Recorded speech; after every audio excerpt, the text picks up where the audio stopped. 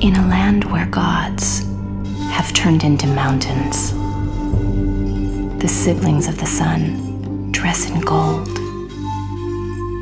Scissor handed mortals dance for days on end. Pink dolphins emerge from the water.